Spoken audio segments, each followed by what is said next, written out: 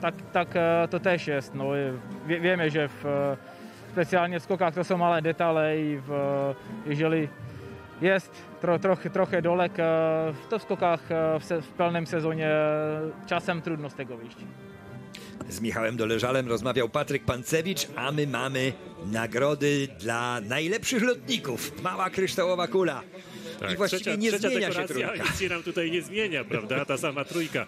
Karl Geiger odbierze małą kryształową kulę w tym sezonie, chociaż zgromadził dokładnie tyle samo punktów co drugi Ryoyu Kobayashi, ale Karl Geiger wygrywał dwukrotnie, a Japończyk y, tylko raz na miejscu trzecim, podobnie jak i podczas tych wcześniejszych dekoracji Markus Eisenbichler. Tak, trójka jakoś przylgnęła do Markusa poza klasyfikacją generalną, gdzie dwójka będzie jego miejscem.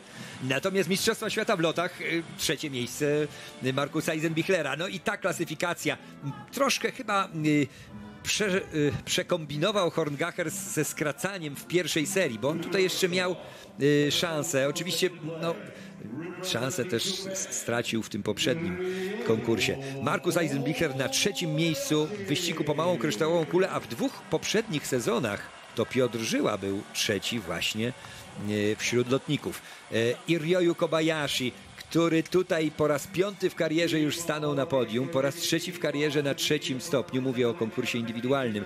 No i jest na drugim miejscu e, w klasyfikacji lotów narciarskich. No i Karl Geiger na najwyższym stopniu podium. Przez lata mówiło się, że jest to skoczek skrojony na skocznie normalne, że ma świetne odbicie i że na tych normalnych, czyli najmniejszych obiektach, na których rywalizuje się o punkty Pucharu Świata, że on tam dominuje. A on w tym sezonie potwierdził, że on jest też świetnym lotnikiem.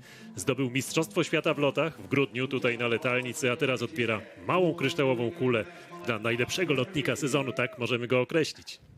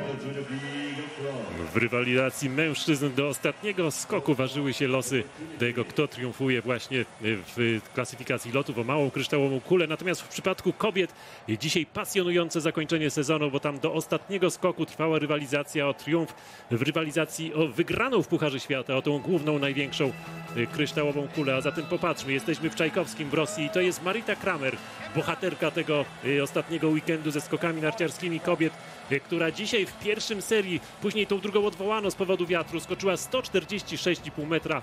Najdłuższy skok w przypadku kobiet na skoczniach dużych. Y, 146,5 metra, oczywiście rekord tego obiektu w wykonaniu kobiet y, znokautowała rywalki. Y, Serię finałową odwołano, a w tej jedynej, y, którą rozegrano na trzecim miejscu była Nika Kriżnar ze Słowenii, a na siódmym Sara Takanashi, która przed tym konkursem była liderką Pucharu Świata, ale ostatecznie po zsumowaniu tych wszystkich punktów Puchar Świata zdobywa Słowenka Nika Kriżnar, która wyprzedziła Sarę Takanashi o 9 punktów, a Maritę Kramer, bohaterkę końcówki sezonu, zaledwie o punktów 11. Drużynowo Puchar Narodów dla Austriaczek także do końca ważyła się rywalizacja tej kuli dla triumfatorek Pucharu Narodów. Austriaczki ostatecznie wygrały ze Słowenkami różnicą 170 punktów. A zatem i Słoweńcy mieli